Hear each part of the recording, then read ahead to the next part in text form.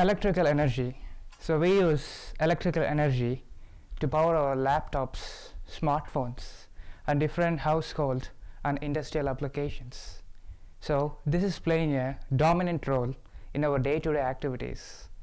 Did we know that this demand for energy, electrical energy, keeps increasing day by day as a result of social and economic developments in our society. At the same time, the materials which has been used so far are fast depleting, whether it could be a coal or oil or any other sort of device or a material is fastly depleting. So what is the solution? So we are in a need to maintain the sustainability of our environment.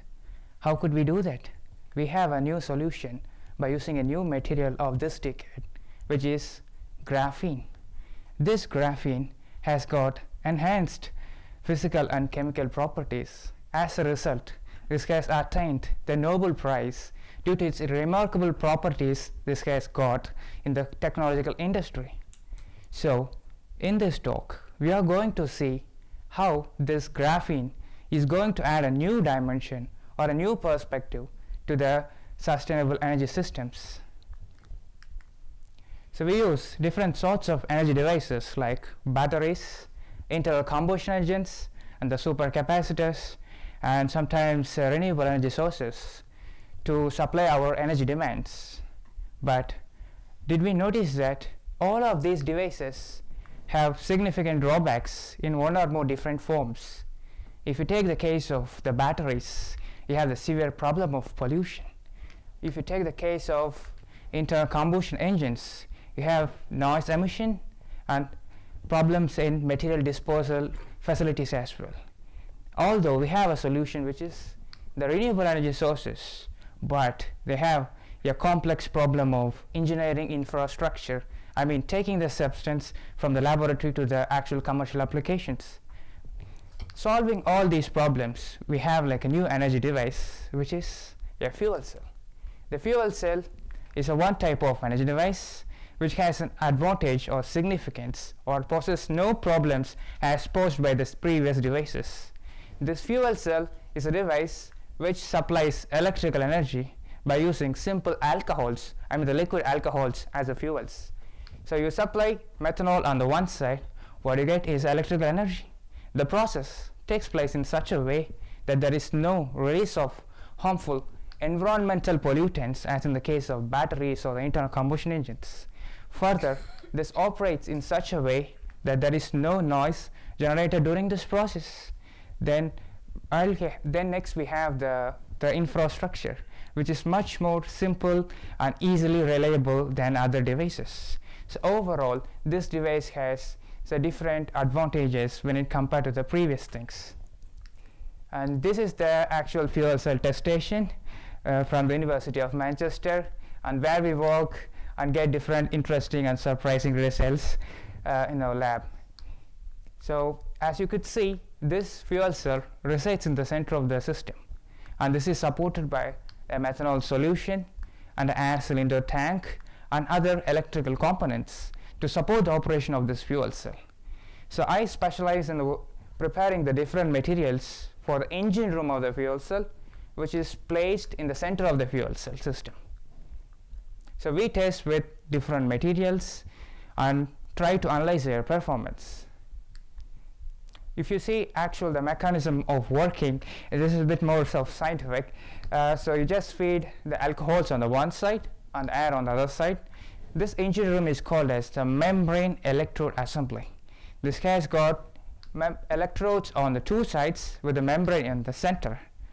So the researchers work with the different materials on the different systems to enhance the electrical conducting properties or the protonic conducting properties because you have two different sections. One is the electronic path, the other is the protonic path. We test with different substance to enhance the protonic route or the electronic route so as to enhance the rate of reaction to produce higher efficiency or higher performance. And while we try and produce different materials, we haven't got we haven't got like very good excellent results, but we have the topic called the new material graphene. So what is making the graphene more significant attention these days. It's because of its structure. And this is the, the structure of graphene as it could be seen from uh, high resolution scanning electron microscopy or some other sophisticated techniques. What makes significant this is flat structure. As you could see, this is a complete flat structure with the carbon atoms arranged in hexagonal lattice. This structure makes the flow of different substrates across the surface much more faster with less resistance than other materials which is making a tremendous impact in every field whether it is medical, chemical, physical or any other industrial applications. Why? Why graphene? We also have other materials like the nanotubes, the fullerenes or which are like different forms of carbon. So what makes graphene significant is a is an excellent structure.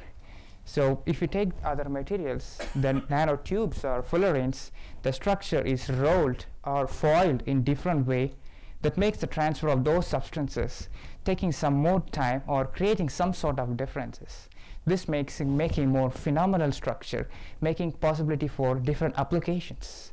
So we were quite fascinated about this property. And and we also found this this graphene in spite of having all these significant advantages has also be can be tuned. I mean its flexibility. So no material can be used if it's there is no flexibility and it has like just more tremendous properties.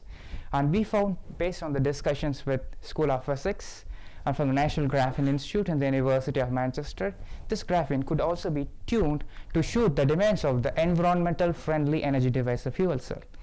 So what we did was we took a piece of graphene, functionalized with some chemical agent, made into an excellent electronic conductor, and took the same sheet of graphene and functionalized with protonic conductor, so make it as an excellent membrane material.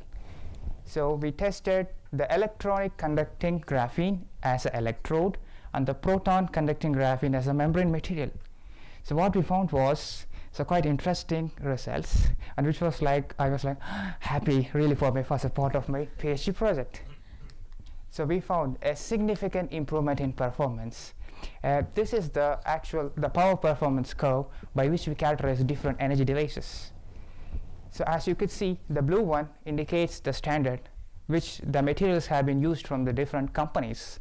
We get we got a power of uh, around 50 milliwatt per cm squared and when we added the graphene the power performance improved to 50%, which is quite significant and was quite tremendous when we compare to different materials used by the different researchers across the globe. And we also need to note on this, this graphene is the first ever 2D material ever invented. So as you could see, this the thickness, uh, actually we have like three different dimensions, but the dim dimension of graphene is just two because one of the dimension is less than the thickness of the human hair. So 1 by 1000 times less than thickness, which makes uh, excellent the properties or contribution of excellent properties to the substance.